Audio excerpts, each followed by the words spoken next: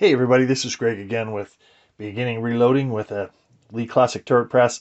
Uh, it's been a long time since I've done any videos. Uh, about the time I got started doing videos was right before the whole um, uh, Chinese, uh, oh whatever you want to call it. Uh, you have to be careful. You can't even say the words in videos these days without YouTube banning your video.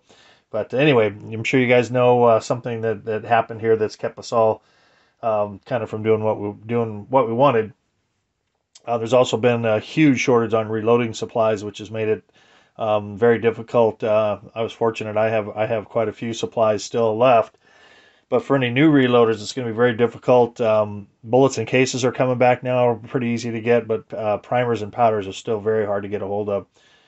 But anyway, this is going to be uh, this is going to be actually part um, part four and five of my process of uh, preparing 223 cases to reload. Now the cases that you see on the tray here, these have all been um, deprimed, um, put through a wet tumbler, and they've also, all the uh, pockets have all been checked for um, military crimps and, and been swaged if they had a military crimp. And now at that point, uh, I'm at a stage here where I'm going to start running. I'm going to run them all through a full size, uh, you know, full length uh, resizing die. And the lube I use, uh, you may have you may have come across it. It's the uh, oh, bear with me here. It's this liquid uh, liquid lanolin oil that you see here. Um, you mix that with uh, with rubbing alcohol, or I shouldn't say rubbing alcohol, but oh, I believe it's like 92% isopropyl alcohol. That also became hard to get with the uh, with the with the pandemic, and so you can also use this stuff bought at a um, an auto parts store. This HEET you can also mix this with the lanolin to come up with the same same type of thing. But I've used this and had excellent luck with it.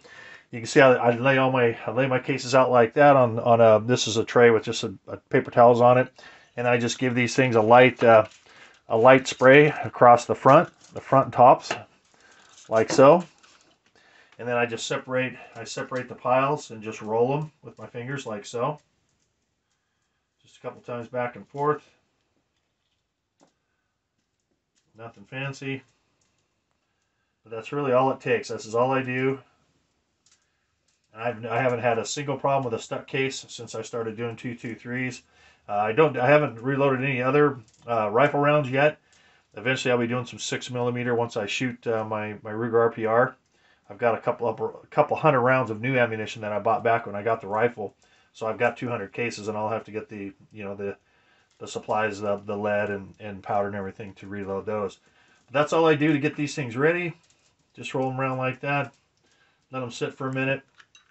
Uh, I bought this. Uh, this is a, a, uh, glass spray bottle that I bought off of Amazon. Um, I'll, I'll, if, I, if it's still a valid link, I'll put it down below in the description.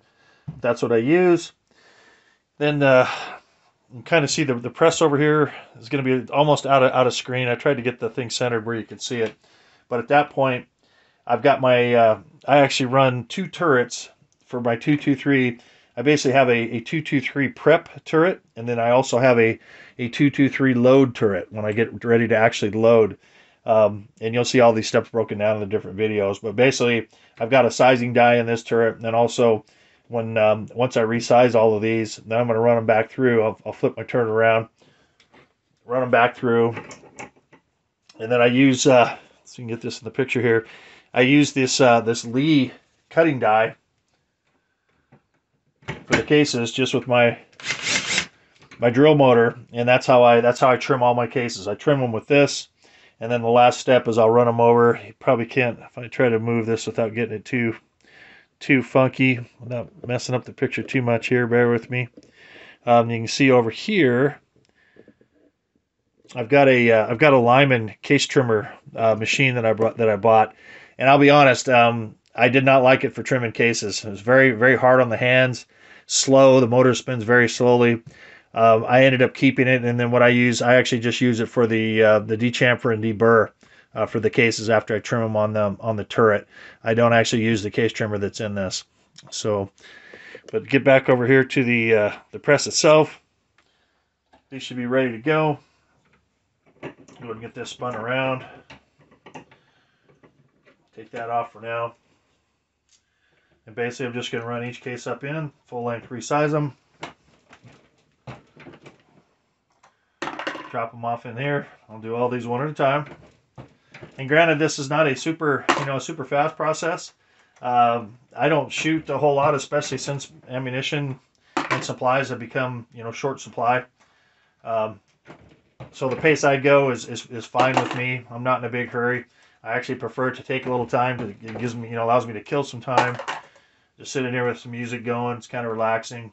I, I kind of find it uh, therapeutic almost, to be honest. But you see, these these these are, are full length resizing, very easy. You can feel the lube on the cases. That one's a little stiff, but come right, you know, you see them come right back out. Like I said, I've never had an issue with a stuck case uh, using that lube in the system that I've got here. So I won't bore you with doing these. Um, I'm going to resize all these. And at that point, once I'm done with these, I'll come back and run them all through the uh, the case trimmer, uh, deburr them and de, um, dechamfer them. Of course, I'll be checking the measurements on the cases every few cases to make sure the cut length is right. And then um, at that point, they'll all go back into the wet tumbler with no pins just to clean all the oil and any um, any uh, shavings, brass shavings or anything. They'll all go back in the tumbler. Then I'll clean them one more time, dry them, and at that point they'll be uh, they'll be ready to load. All right, see you in the next video.